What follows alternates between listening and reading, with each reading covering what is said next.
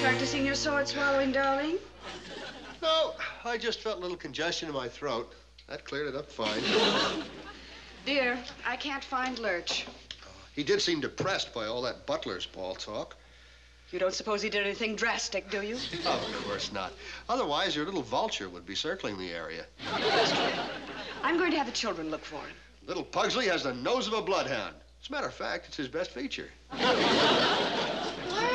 Lurch! Where are you, Lurch? Lurch!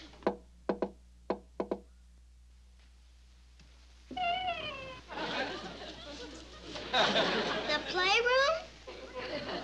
It to tattle thing, but thank you anyways.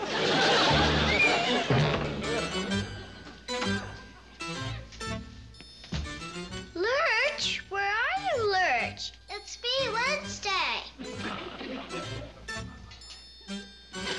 Do you hear me?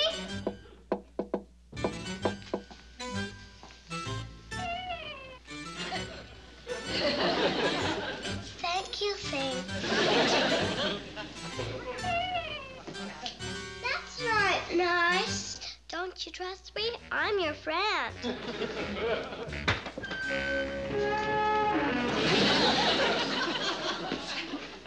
Just because we want you to go to the butler's ball?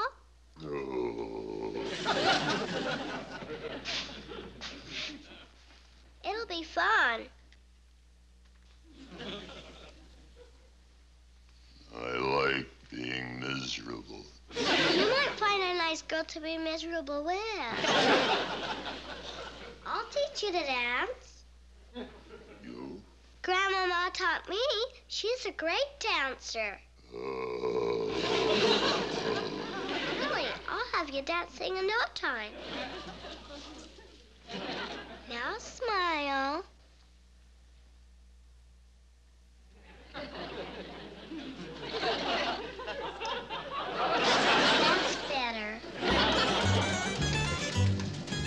Morticia, Consolidated Fuzz just hit 212. I sold it for six. Saved all that tax. Brilliant.